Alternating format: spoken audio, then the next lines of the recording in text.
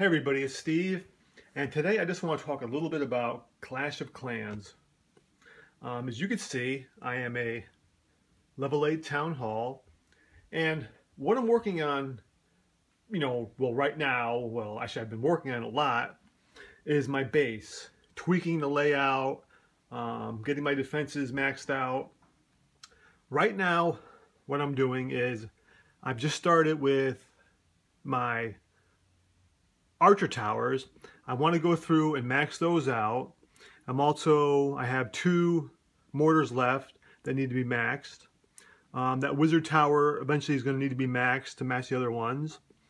Um, and right now, right down here, you can see I'm just finally building my second dark barracks, which is stupid of me. It was so stupid to wait that long because I'm upgrading this one to level three and well, you know, because it's being upgraded, I can't build any Dark Elixir troops. So that was a really idiot move on my part.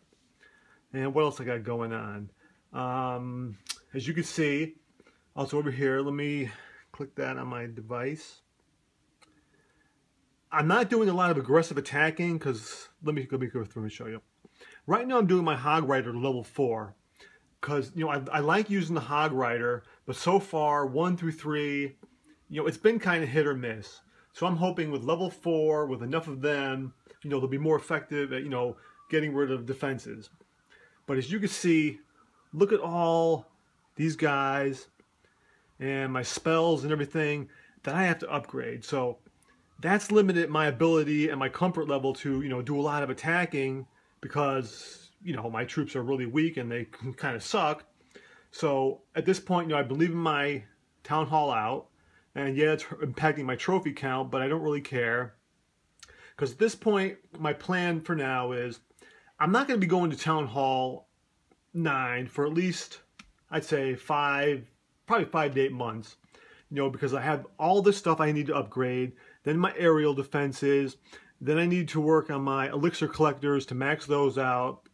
Um, so that's going to take a long time. Then I really need to get my troops maxed, and then I'm going to do a lot of aggressive, you know, attacking to get that trophy count, count up, you know, get me into different leagues so my, you know, win bonuses are higher. Um, and then I'll be ready to upgrade. You know, my, my, I'm happy though, my walls are all maxed out at level 8. So, you know, and that's so important. I see a lot of people, well, not a lot, but I see quite a few people, they're not really that concerned with maxing their walls out. And I think, you know, walls are so important. Because, you know, yeah, I know they can't they have no impact on someone using a, a, jump spell or a dragon or a minion or you know what or hog rider. But you have to realize those flying things take a lot of um, they take a lot of elixir you know be it regular or dark. So a lot of times people aren't going to use them. They'll use ground troops like archers um, the wizards the wall breakers the um, oh my god the barbarian so it's important to be able to slow them down with the highest level walls, you know, that's very critical. But and this layout, you know, I'm pretty happy with it.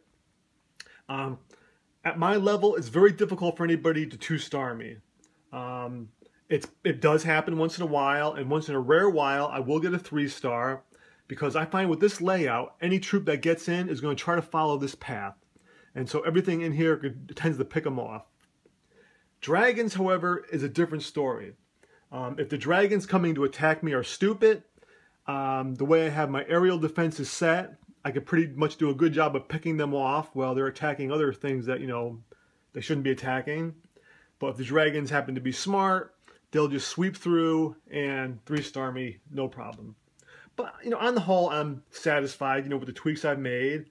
Um, if you have any, you know, suggestions for me or ways you think I can improve this, please feel free to, you know, drop me a note because I can use all the help I can get. But all in all, I'm you know satisfied with the way things are going and I'm enjoying the game. And so, all right, thanks for watching and we'll talk with y'all later.